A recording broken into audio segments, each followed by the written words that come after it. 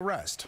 Well, new information about the violent attack on a postal mail carrier in New Jersey that we showed you earlier this week. Police identified one of the male suspects behind that attack right there. It happened on May 13th off of Walnut Avenue in Millburn.